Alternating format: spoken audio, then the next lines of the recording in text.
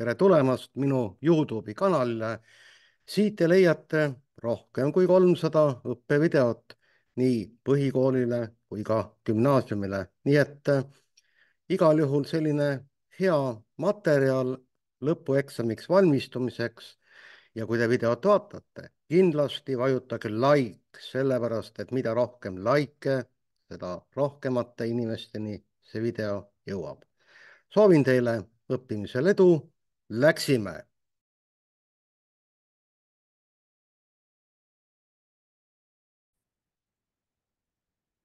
olemegi jõudnud nüüd kahe tuhande kahekümne neljanda aasta matemaatika põhikooli eksami viimase ülesande juurde. see tähendab seda, et nüüd, kui me ülesannet number kuus ei valinud, siis oli meie valikuks number seitse, nii et selline ülesanne. Kõigepealt on üks täisnurkne kolmnurk siin antud ja me peame seda joonist nüüd täiendama, nii et kõigepealt näete kõrgus CH. tipust C tuleb joonistada kõrgus. selleks me siis kasutame ilmselt täisnurkset kolmnurka. mina nüüd neid töövahendeid siit küll välja otsima ei hakka, nii et ma ütlen ausalt, mul on nad täitsa olemas. aga ma kasutan praegu arvuti võimalust selleks, et näete ja märgin ära siis ilus täisnurga panen siia ja siia panen H tähe. nii et CH, see on siis selle kolmnurga kõrgus mediaan, CD. vot mediaan on küljepoolitaja, nüüd mul oleks vaja siis see külg AB ilusasti ära mõõta, tema pikkus, siis ta jagaks kahega ja saaks teada, kus see punkt D on. Nii, aga ma panen selle siit tõesti silma järgi praegu. noh, oletame, et on siin. kui nüüd keegi ütleb mulle, et kuulge, et see mõõtmine pole ikka päris korrektne, et tegelikult tuleks ju mida teha tegelikult tuleks ju siis poolitada tsirkliabid, siis ma pean kahetsusega ütlema, et teil on õigus. aga ma olen nii laisk praegu, et ma seda siin tsirkliga tõesti poolitama ei hakka, nii et võtan siis lihtsalt joonlaua, mõõdan ära ja joonestame selle mediaani siis. nii et noh, ütleme, et see on siis mediaan, jah, mediaan on siis küljepoolitaja. ja mis tähendab siis seda, et näete lõik AD on täpselt sama pikk kui DB. nii et seda lõiku mul on siin küll natukene halb märkida, aga ma panen siia siis kirja, et AD on sama pikk kui DB. Vot nii. nüüd näete, kõrgus on tõmmatud, mediaan on tehtud, külgi AB, näete, see on siis AB siin ja AC ühendav kesklõik DE. kuulge, kolmnurga kesklõik, kolmnurga kesklõik on pool tema vastas. näete siit ilusti, et see on siis lõik CD siin näete, pool sellest lõigust CD pikkuse poolest. aga kesklõik tuleb ju niimoodi, et näete, nüüd ma pean selle külje AC keskpunkti siit siis leidma ja loomulikult ma tõmban siis nüüd selle lõigu siia. noh, näete. kui nüüd väga-väga viltu ei ole, siis, siis on kõik okei okay. ja näete DE, nii et siia panen siis punkti E nüüd. Ja see lõik DE kirjutan siia ära, näete, on pool BC lõigust, üks kahendik BC. nii et kesklõik on pool vastavast kolmnurga küljest. ja kui ma nüüd ehitaks siia sellise kesklõikudes koosneva kolmnurga, siis selle ümbermõõt on pool selle suure ümber, suure kolmnurga ümbermõõtust, aga nüüd on mul siin ära tehtud see värk kõik. Nii et noh, ühesõnaga lõigud on ära joonestatud. edasi, nüüd ma panen siia siis kirja, et punkt kaks nüüd jah, nii et punkt üks on meil ära tehtud midagi väga hullu siin ei olnud. paneme punkt kaks siis antud ja hakkame vaatama. mis meil siis antud on? CH on üheksa, CH on selle kolmega kõrgus. Nii et CH on üheksa sentimeetrit. edasi BH. nii, BH näete, see on siis siin selle täisnurkse kolmnurga nüüd üks kaatet. BH on siis viis koma kuus sentimeetrit. ja nüüd küsitakse lõikude CB, märgin siia teise värviga. CB, näete seda, see tähendab, küsitakse selle täisnurkse kolmnurga hüpotenüüsi siin. ja DE, no DE on siis, saate aru, et DE on pool CB-d, nii et näete, see on meil juba siia kirja pandud. nii et kui meil õnnestub BC ära arvutada, siis on meil ED-ga kohe käes. aga kuidas me saame BC? aga selle BC ja loomulikult leiame siis Pythagorase teoreemi abil, aga nüüd ma selle vormistamise lõpetan siin viisakalt ära. et mida ma siis leian, nii et ma panen siis kirja, leian CB ja DE. no ja nüüd edasi siis jah, et leian need asjad. ahhaa, CB. nii, CB saan leida siis Pythagorase teoreemi järgi, nii et ma panen siis siia punkt üks. näete, hüpotenüüsi ruut. CB ruut on HB ruut ja pluss CH ruut. nüüd CB ruut. vaatame, kuna meil HB ehk BH on teada viie koma kuue ruut pluss CH, aga CH on näete üheksa, üheksa ruut. nii et nüüd jääb teil endal siis need ruudud välja arvutada, kokku liita ja me saame selle CB väärtuse siit kätte ligikaudu. annan teile nüüd hetk aega. palun arvutage see ära.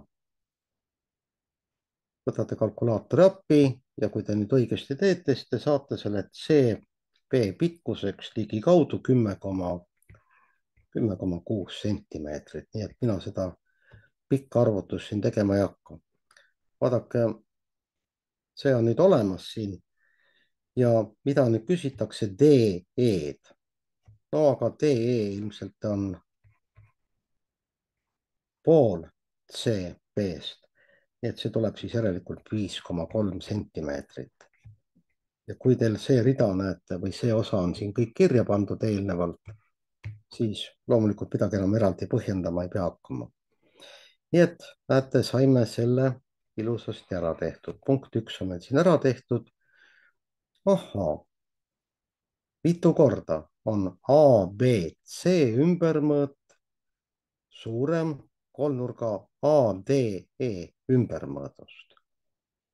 kolmnurk ADE, aga pange nüüd tähele, punkt D poolitab külje B, A, AB, nii et punkt D poolitab külje AB, punkt D poolitab külje AC ja loomulikult näete, ED on pool CB-d. nii et tegelikult me saame ju siis näete vastuse väga lihtsalt kätte, see kolmnurk väiksem kolmnurk ADE, tema ümbermõõt on täpselt kaks korda väiksem. nii et ma panen siis number kaks ja kirjutan, et, et selle, näete, kuna küsimus on on suurem kolmnurga ümbermõõdus, siis ma kirjutan, et näete, abc ümbermõõt on kaks korda ümbermõõt ADE.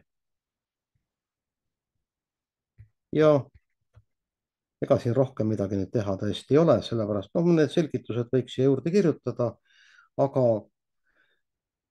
jah, eks nad vajalikud muidugi on seal. nii nüüd edasi. kolmas punkt. nii et teise me tegime ära. kolmas punkt, nüüd panen, märgime juba ära, et on tehtud, aga kuigi ei ole. millise tunnuse põhjal on abc, abc, näete täisnurkne kolmnurk ja CBH, nii et CBH sarnased. kas nad üldse on sarnased, jah? aga missugune tunnus siis tuleb? noh, hakkame vaatama. näete, mis nendel kahel kolmnurgal on siis sama. nii et vaadake nüüd hästi hoolega. ja kui te nüüd vaatate seda kolmnurka A, B, C ja kolmnurka C, B, H. no siis te panete ilmselt tähele, et nendel kahel kolmnurgal on kaks võrdset nurka.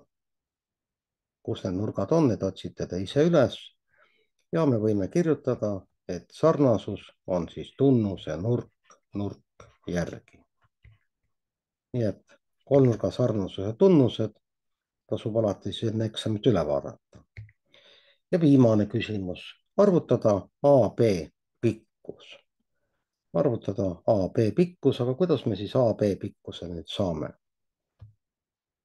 AB pikkus, vaadake, mida me teame. me teame, näete, et CB on meil välja arvutatud, seda me teame. edasi vaatame, mida me veel teame me teame siis, näete, et C, nii et CB-d me teame, selle me arvutasime. CH-d me teame. kas me sellest on abi? või vaatame, et kuidagi teistmoodi saaks teha.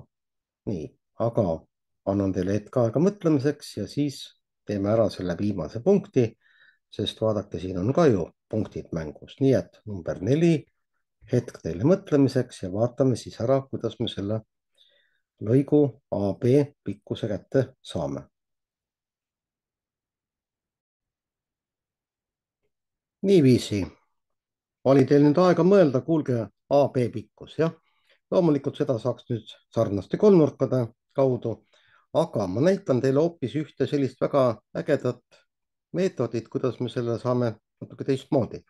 nimelt tuletan teile meelde, need, kes on koolis õppinud sellist toredat teoreemi nagu teoreem kõrgusest, siis täisnurkne kolmnurk ja pange tähele nüüd, ahhaa on ju, mis asi, see on CA projektsioon ja HB on CB projektsioon ja meil kehtib selline hästi tore seos, nimelt, et projektsioonide korrutis AH korda HB on võrdne selle kõrguse ruuduga, HC ruuduga. ja nüüd pange tähele, mis juhtub. Nendest kolmest lõigust me teame mitut, me teame kahte ja ma saan siit AH ilusasti välja arvutada. AH on, vaadake, HC ruut jagatud HB-ga. aga HC ruut, HC on ju meil olemas, näete see on üheksa sentimeetrit, järelikult tema ruut on kaheksakümmend üks ja HB BA on viis koma kuus. nii, ja kui ma selle jagatise nüüd leian ja loomulikult te võite seda ise ka nüüd arvutada, keegi teid ei keela, kaheksakümmend üks. jagame siis ilusasti selle viie koma kuuega ja vaatame, mis meil tuleb siis vastuseks meil tuleb neliteist koma viis ligikaudu, no ma panen siis siia ligikaudse võrdluse märgi. Muidugi võiks ka täpse väärtuse jätta, aga ma isegi panen praegu neli või kaks kohta peale koma, pärast ümardan ära. neliteist koma nelikümmend kuus, neliteist koma nelikümmend kuus sulgudesse sentimeeter. kuulge, see on ahhaa ja nüüd AB ei ole ju mitte midagi muud kui A, näete, AB on AH pluss HB. nii, ehk AB pikkus tuleb siis neliteist koma nelikümmend kuus pluss nüüd see HB paneme juurde viis koma kuus. ja liidame siis juurde viis koma kuus. ja vaatame, palju me siis kokku saame ja meil tuleb kakskümmend koma üks ligikaudu, nii et ma panen siis siit, nüüd jätan ühe koha peale koma, ligikaudu kakskümmend koma üks sentimeetrit. nii et kelle jaoks see lahenduskäik nüüd siin oli natukene ootamatu, ma tõmban siia juti kõrvale. siis noh, siis ta oligi ootamatu jah. aga kes on siis põhjalikult täisnurkse kolmga lahendamist õppinud, siis ta teab ka teoreemi kõrgusest ja teoreem teab ka siis lisaks Pythagorase teoreemile Euclidese teoreemi, nii et lihtsalt näitasin teile sellist alternatiivset võimalust, et ei kasutanud siin sarnaseid kolmnurki. ja me olemegi lahendanud kõik selle aasta kaks tuhat kakskümmend neli aasta ülesanded, nii et mis seal ikka, siis ma soovitan teil nüüd otsida Youtube'ist üles siis mõne varasema aasta eksamiülesandeid. täna ma neid veel sinna pannud ei ole, aga, aga homme mine tea, terve öö veel vahel ja võib-olla jõuan juba teha. nii et minuks, minu poolt siis selleks korraks kõik ja soovin teile kena päeva jätku. nägemiseni